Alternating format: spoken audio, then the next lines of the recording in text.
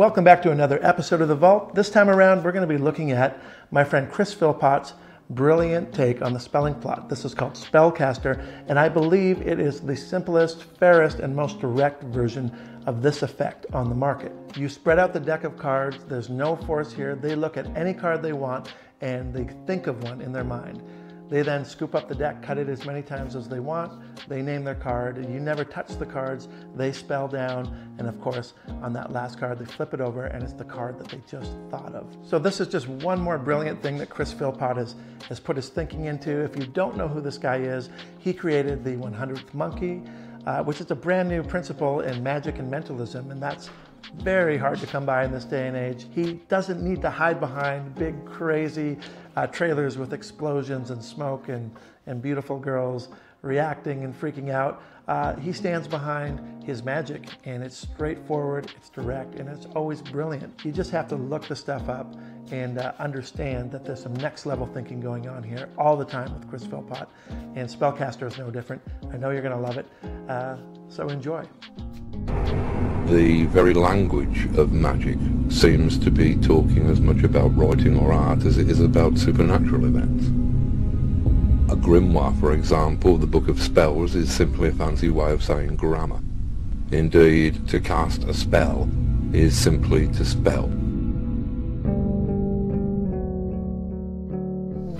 Classic plots of card magic is a card is selected, lost in the deck, and then the magician finds it by spelling the name of the card, dealing out one card for each letter. Now, it's a very common, popular trick, but it's I love this trick because uh, it actually taps into some really ancient mythologies. Uh, the word spell. The word spell uh, can mean to spell something or a magic spell. And we think of them as completely separate meanings now, but they are one and the same ones. Uh, a word like abracadabra, which is Aramaic for I create by speaking. Uh, it actually was, they often spelled out that word to unleash its magical powers. Words are incredibly magical. In the ancient world, I think they still are. I mean, you look at creation myths from around the world, so many myths begin the universe itself with the word. And God said, in the beginning was the word. That's a lot of heft for a card trick. so, we're going to do this, but I'm not going to have you choose a card. Uh, uh, uh, and I'm not going to manipulate this with sleight of hand. We're going to keep it as simple as and impossible as it could possibly be. Uh, I want you to just think of a card. Just think of any card. And I'll look away. Got it? Mm-hmm. Okay. Now, what I would like you to do is I would like you to cut the card several times. Cut.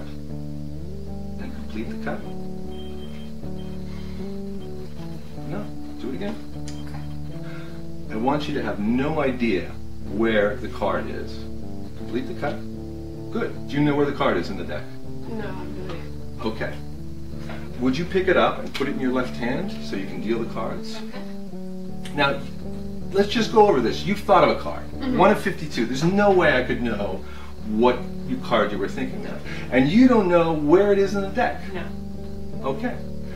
We're going to have you spell it out one card for every letter in the name of the card, and it will be on the last card you deal, the S. Okay. That will be your card, not before, not after that card.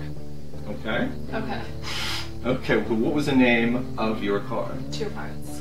Two of Hearts. Okay, so please spell it out. Right there, face up. T. W. O. O.